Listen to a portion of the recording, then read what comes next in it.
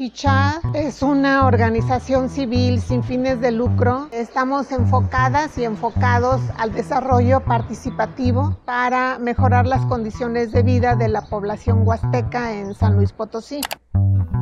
Tuvimos la oportunidad de ser invitadas por EDUCIAC para participar en un proyecto maravilloso que está relacionado con el fortalecimiento de la sociedad civil en San Luis Potosí. Las tres organizaciones a las cuales Quichá estará acompañando son Desarrollo Rural de San Luis Potosí, Red de Mujeres Artesanas,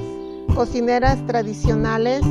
y productoras del campo de la Huasteca Potosina. Y la organización Servicio, Desarrollo y Paz Huasteca Potosina AC. Desarrollo Rural de San Luis Potosí es una asociación civil que tiene un poco más de 42 años de trabajo. El, el proyecto lo que busca es ir eh, facilitándole a estos pequeños productores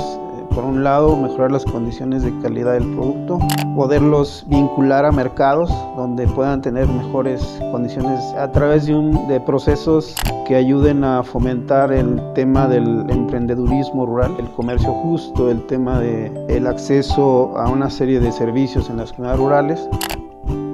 La red está organizada principalmente por mujeres indígenas del campo de la Huasteca estamos estableciendo una escuelita que nos está sirviendo para formalizar algo que ya sucedía, que es que entre todas nos enseñamos nuestras prácticas, nuestras tradiciones,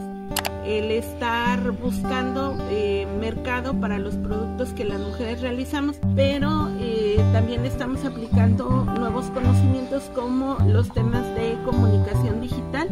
Esperamos que al terminar este proyecto tengamos un tejido de comercialización que nos permita tener ingresos más fijos, donde nosotras decidamos y, hagamos los tratos y que esto nos permita tener una vida con dignidad. Mi nombre es José Araceli Solvera, soy parte de Servicio Desarrollo y Paz Huasteca Potosina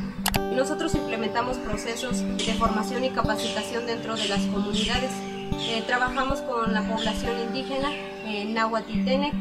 con la implementación del proyecto eh, se busca eh, atender principalmente la soberanía alimentaria con base a capacitación y estrategias que puedan eh, implementar los productores en sus procesos o que puedan añadir a sus procesos para que los grupos de productores adquieran habilidades agrícolas como en implementación de terrazas, implementación de huertos, que puedan ellos poder